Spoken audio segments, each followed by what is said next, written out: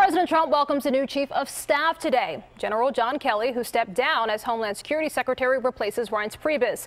Correspondent Weijia Jiang reports on the latest move in a string of White House shakeups.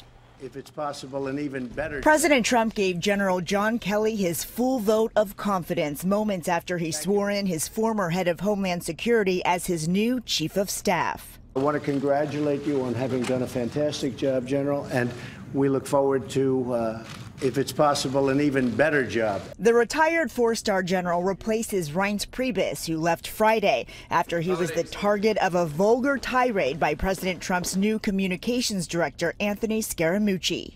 I predict that uh, General Kelly will go down in terms of the position of chief of staff, one of the great ever. After the swearing in, General Kelly participated in the president's cabinet meeting. Many see Kelly's appointment as an opportunity to restore order to a warring West Wing. I think the president wants to go a different direction, wants a little bit more discipline. The president denies there's any turmoil, tweeting this morning, highest stock market ever, best economic numbers in years, no White House chaos.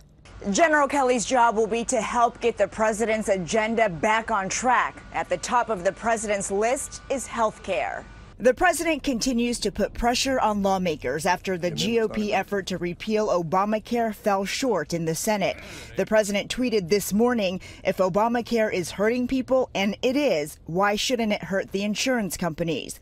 Monday's tweets indicate one thing that won't change under General Kelly the president's social media habits. In Washington, Weijia Jiang for CBS 3 Eyewitness News.